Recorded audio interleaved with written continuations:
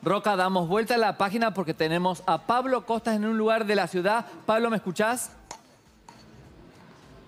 Hola Dani, sí, Roca, buenas noches para todos. Estamos en San Martín y Giralpaz.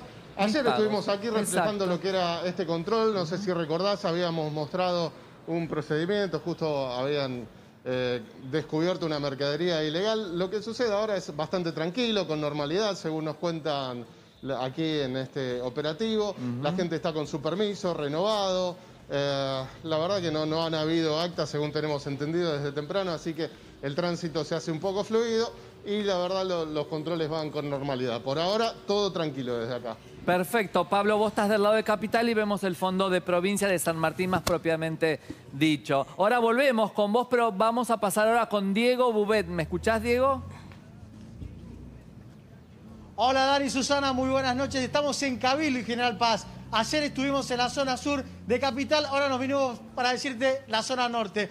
Te digo, como dijo Pablito, hoy día domingo poco tránsito. Si bien vemos autos, es porque acá eh, la senda peatonal y lo que es la calle se divide y la gente de seguridad está eh, pidiendo todos los papeles correspondientes. Hablamos con algunas eh, personas y nos dijeron que no hubo ningún tipo de acta, como dijo Pablo, también menos circulación y lo que es todo transporte público bajó un 30% con la nueva regularización. También tenemos que recordar que toda la gente que está mostrando los documentos para circular está con esta aplicación. Pero como dijimos, el día domingo este frío bajó realmente el tránsito acá y lo que pudimos ver es esto, es la gente mostrando los papeles.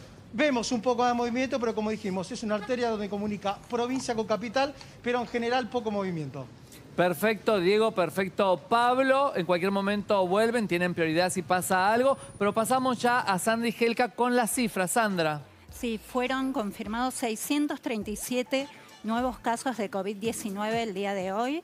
Suman 16.851. 5,8 son importados, 43,4 son por contacto estrecho.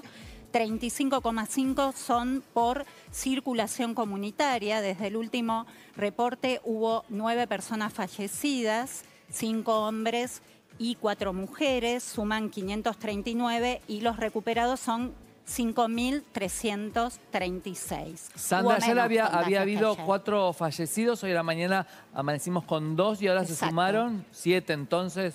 Exacto, son nueve en total, cuatro, eh, son cinco hombres, cuatro de 62, 47, 91 y 57 años de la provincia de Buenos Aires, uno de 86, residente en la ciudad de Buenos Aires, y cuatro mujeres, una de 93 y 68 años en la ciudad de Buenos Aires y de 67 y 85 en la provincia de Buenos Aires. Bien, Sandra, vamos a seguir porque si tenés el dato me gustaría saber si son de geriátrico, de un barrio, de, de- de provincia y demás. Ahora vamos, Roquita, querida, con unas recomendaciones.